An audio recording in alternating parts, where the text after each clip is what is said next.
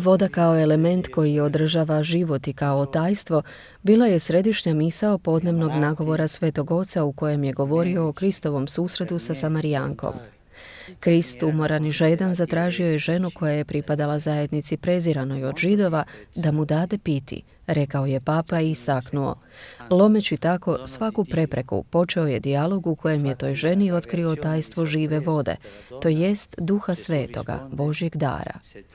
Ako naša potraga i naša žeđ u Kristu pronađu ispunjenje, očitovat ćemo da spasenje nije u stvarima ovoga svijeta, nego u onome koji nas je ljubio i uvijek nas ljubi, u Isusu našem spasitelju, rekao je papa i nastavio. Bog je u biblijskoj tradiciji izvor žive vode, a od njega se udaljiti donosi najveću sušu. Naime, Krist je hram iz kojeg u skladu s viđanjem proroka proizlazi duh sveti koji pročišćava i daje život.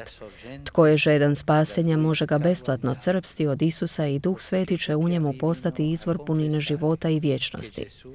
Obećanje žive vode koje je Isus dao Samarijanki postalo je stvarnost u njegovoj muci. Iz njegovog probodenog boka izišli su krvi voda. Krist, žrtvovani i uskrsli jaganjac, izvor je iz kojeg izvire duh sveti, koji oprašta grijehe i ponovno rađa na novi život, rekao je papa.